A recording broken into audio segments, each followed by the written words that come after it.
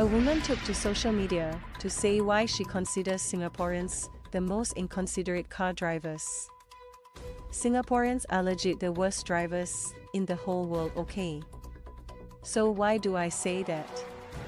It was drivers other than the most inconsiderate drivers. The woman shared in a video. She pointed out her encounters with Singaporean drivers in the video as they don't follow common driving courtesies.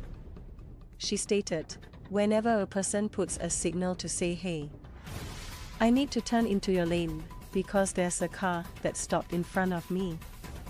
No, what they do is the car behind will speed up and close up the gap, so you can't get in so literally whenever you put a signal out. People will horn at you.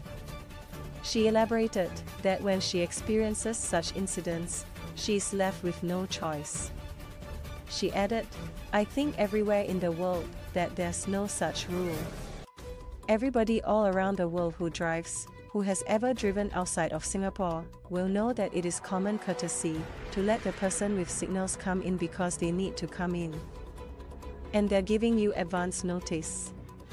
The woman also declared that she had another encounter with a lady who gave her a very rude sign when she wanted to turn into a lane.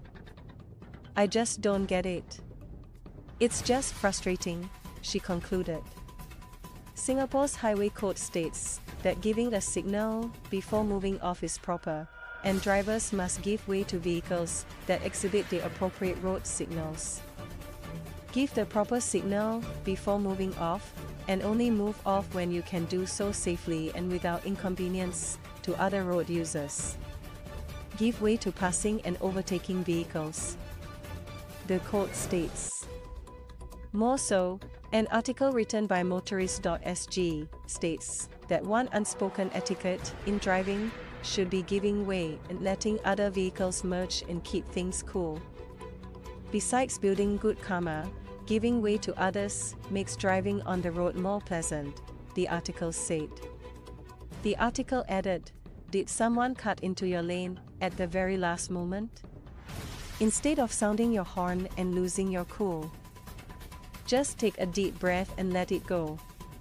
Don't let something so trivial spoil the rest of your day. Try to look at the bigger picture. Will this matter to you in a few days? No. It probably won't, so stop getting angry when you're behind the wheel.